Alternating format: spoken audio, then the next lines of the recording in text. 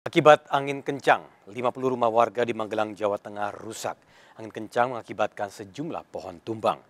Warga panik saat angin kencang menerjang permukiman di Dusun Campur Sari, Desa Gandusari, Magelang.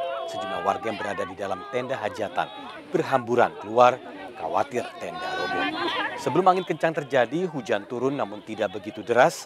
Setelah hujan mereda, justru muncul angin kencang yang merusak sejumlah rumah. Tidak ada korban jiwa dalam peristiwa. Pemerintah desa setempat saat ini memperbaiki rumah warga yang rusak. Ya Allah.